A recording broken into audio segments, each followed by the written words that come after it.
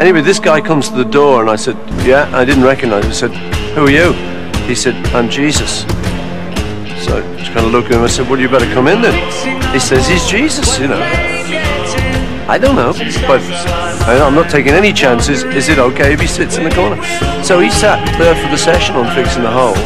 We just made it, made the record, said good night. I've never seen him since.